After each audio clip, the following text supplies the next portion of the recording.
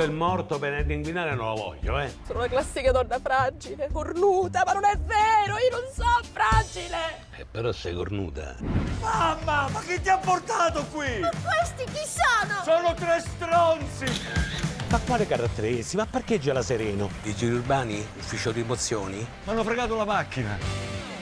Dai un'occhiata a questa analisi, c'è qualcosa di strano. Ma Amedeo! Adesso il problema è come dirglielo. Voi cosa dovevate dirmi? Si parte e si va in vacanza. Che bel regalo che mi avete fatto! Purtroppo non è una vacanza questa, lo dico a te, lo dico a te. Mi piacerebbe sapere cosa pensate di me. Se poi te la dico io la verità su di te.